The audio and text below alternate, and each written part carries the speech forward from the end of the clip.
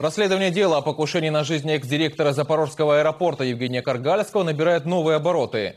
На днях правоохранителями был задержан его бывший коллега Вадим Тиховский. И хотя никаких обвинений по этому поводу ему не было предъявлено, повод волноваться, по словам родных задержанного, у них есть.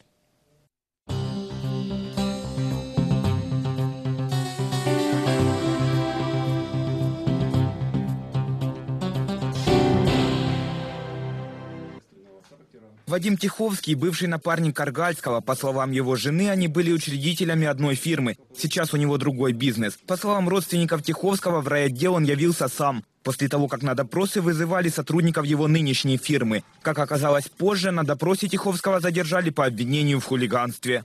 В 4 часа утра, я не спала, в 4 часа утра мне последовал звонок. Я взяла трубку, э, мне представились, что это звонит дежурный из Жовневого РОВД, и сообщили о том, что мой муж задержан Жовневым РОВД за мелкое хулиганство. Причем это было сказано в такой хамской форме.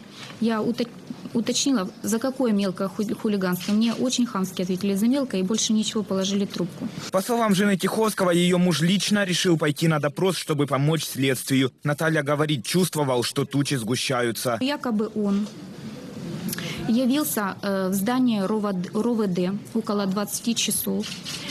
И, и в кабинете начал все крушить, разбрасывать стулья, э, угрожать сотрудникам милиции в нетрезвом виде. В 19.20 он доставлен на наркологию где ясно написано в заключении врача, что он трезвый. После этого его доставляют в Жовтневый райотдел. Когда к РУВД подъехала скорая помощь, Наталья говорит, сразу поняла, что с мужем что-то случилось. Его вывели в наручниках из Жовневого в РУВД. У меня был просто шок от того состояния, э, в котором я его увидела. Это было опухшее лицо, опухший язык. Он еле-еле вообще ворочался, язык как вываливался.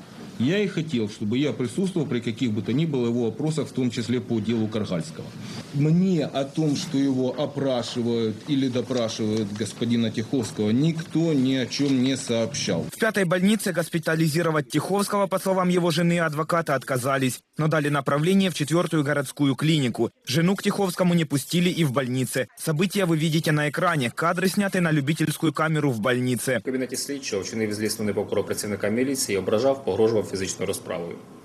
Громадянина було затримано, заходів фізичного впливу щодо нього не вживалося. Начали спрашивать его, тебя били? Он кивает головой. Электрошок применяли? кивает головой. Больше всего родных волнует то, что Тиховский якобы подписал бумаги, в которых признается в причастности к организации покушения на жизнь Каргальского. Тиховский на э, коляске этой на каталке, провезенный по больнице, и куча комментариев убили, избили, заставили, вынудили. Сегодня в прокуратуре отмечают, никаких официальных обвинений Вадиму Тиховскому не предъявлено. Возможно, будет назначена медицинская экспертиза на предмет незаконного метода дознания, отмечает адвокат Тиховского. В прокуратуре тем временем пока что еще шутят. Оказался в больнице, вот я вас всех увидел, разволновался, я сейчас померяю давление, у меня будет 160 на 100. Попаду я в больницу? Попаду. И скажу, после брифинга оказался в больнице. Что дальше будем делать, ребята? А вот с этим мы будем, а вот, а вот с этим мы будем разбираться. А если, а если об микрофон ударюсь?